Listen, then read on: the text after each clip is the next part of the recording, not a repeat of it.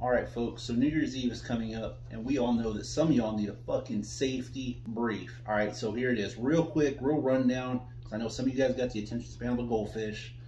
So here it is. Some for guys, some for girls. Guys, first and foremost, don't drink and drive. That's a given, right? Don't do that. Two, now is not the time to put all that UFC pay-per-view into work, all right? Nobody's trying to fight you at the bar. Calm the hell down, all right?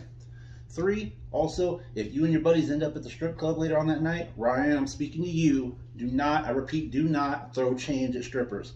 Although hilarious, they don't appreciate it. All right? Who would have thunk it? Anywho, um, for the girls, all right? For the girls, there's always that one friend that's a flight risk. You guys know I'm talking about. Becky, all right? You lose your phone, you lose your freaking purse. I'm saying Apple AirTag these folks, all right? Put something on it, put it on their belt loop, whatever it may be, because they're going to be like, oh, I'm just going to go to the car and put my purse away. And next thing you know, they leave with the guy with the face tattoo. It happens every time, all right? Also, wear comfortable shoes. Don't be wearing the little spaghetti strap Air Jesuses or whatever they're called. Don't wear those because no ankle support.